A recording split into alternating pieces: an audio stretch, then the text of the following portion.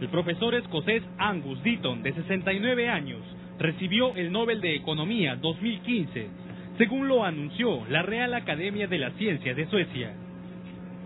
Goran Hansson, secretario permanente de la Real Academia de Ciencias de Suecia, anunció el ganador, añadiendo que fue por sus estudios sobre el consumo, pobreza y bienestar.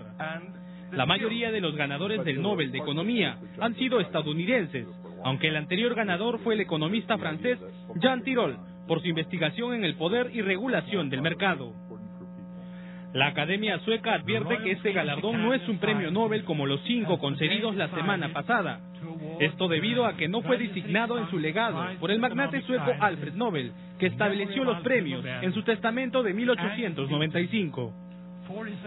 Su denominación exacta es Premio de Ciencias Económicas del Banco de Suecia, en memoria de Alfred Nobel.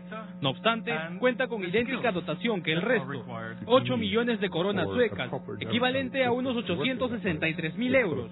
La ceremonia de entrega se realizará el próximo 10 de diciembre, aniversario del fallecimiento del inventor de la dinamita.